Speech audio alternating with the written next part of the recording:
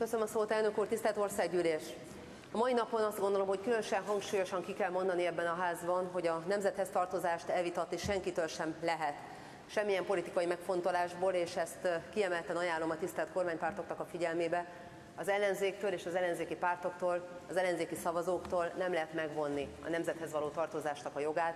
Ezt kérem tartsák tiszteletben akkor is, még hogyha a politikai vérmérsékletük ennek az ellenkezőjét mondatja magukkal. A 2018-22-es ciklus elején vagyunk, és ezt leginkább abból lehet tudni, hogy ilyenkor a mindenkori miniszterelnökök hajlamosak különböző nagyívú koncepciókat felvázolni, 20-30 éves időtávakat, prioritásokat, célszámokat előrendelni, hogy aztán majd, ahogy közeledik ez az időpont, úgy felejtsék el, hogy annó mit ígértek a választópolgároknak, mit ígértek Magyarországnak.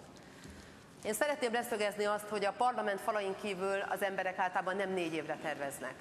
Ott vannak a diákok, ők általában a tanulmányaik végéig terveznek. Ott vannak a munkások, akik a próbaidő végéig terveznek, a dolgozók. De ott vannak a háztartások, akik nagyon sokszor a hó végéig tudnak tervezni, és ott vannak a családok, akik, hogyha gyermeket vállalnak, akkor egy életre szóló döntést hoznak. Én azt gondolom, hogy vannak döntések, amiknek a meghozatalához jó feltételekre van szükség, és önöknek a következő négy évben leginkább azzal kellene foglalkozni, hogy ezeket a feltételeket hogyan lehet előállítani. Kevés az optimizmusom azzal kapcsolatban, hogy önök mire készülnek. Szeretném viszont leszögezni, hogy mi zöldek, mi nagyon mások vagyunk, mint azok a régi politikusok, akihez önök is tartoznak. Mi nem négy éves váltógazdálkodással rendezkeztünk be, nem ez szerint priorizálunk, nem így hozunk döntéseket. Mi az elmúlt nyolc évben ugyanazt mondtuk, mint amit most is mondok, és ezután is mondani fogunk. Mert a világ pontosan ugyanabba az irányba megy, mint ahogy a 60-as, 70-es években az ökopolitika megjósolt, előrejelzett. A 21. század kihívásai azok itt vannak a szemünk előtt, meg kell őket oldanunk. A 20. századnak az eszközeivel azonban ezeket csak súlyosbítani lehet és félrekezelni. Önök használnak már olyan szavakat, hogy innováció és fenntarthatóság, mert megtanulták ezeket a szavakat. Biztos azt gondolják róla, hogy ez valami sikes vagy menő dolog, de láthatóan nem tudják tartalommal megtölteni.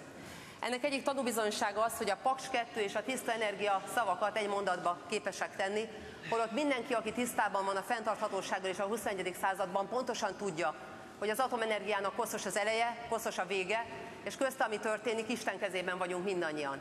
És azt is tudjuk, hogy Putyin befolyása ebben az országban sem nem kívánatos, sem nem 21. századi. Mutassanak nekem még egy országot Kínán kívül, ahol az atomenergiát a 21. századi megoldásnak tartják.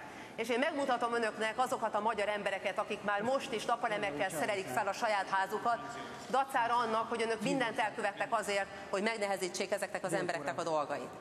És ott van a magas hozzáadott érték, és ott van a magas munkabér, amiről önök szeretnek beszélni, miközben ennek az ellenkezőjét teszik. Szétverik a magyar oktatást, gyakorlatilag a közoktatást már 8 éve az iparkamarából irányítják, elüldözik Magyarország egyik legjobb egyetemét, a CEU-t, és láthatóan mindent elvesztek a gyermekektől, ami ahhoz kell, hogy jó oktatásban legyen ö, osztályrészük.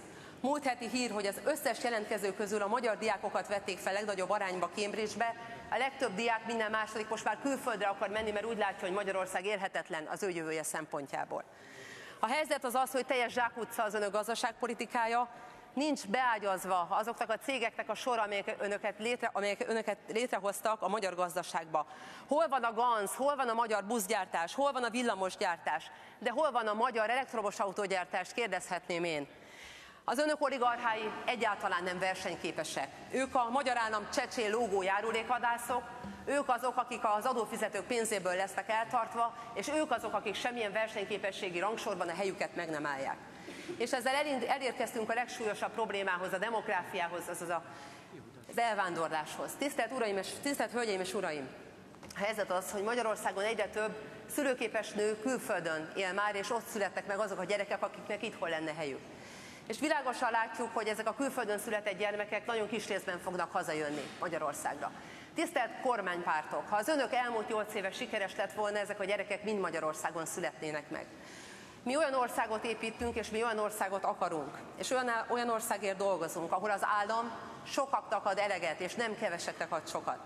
Magyarország akkor lesz erős, Magyarország akkor lesz sikeres, Magyarország akkor lesz sorsközösség, amikor a magyar nemzet képes minden tagja segíteni egymást minden területén, és önök nem árkokatásnak és a nemzeti összetartozásnak a napján nem vitatják el például az ellenzéknek a nemzethez való tartozását, és nem a régi szavazási magatartásokkal revolverezik őket, hanem kimondjuk, hogy mindannyian büszke magyarok vagyunk határokon innen és határokon túl.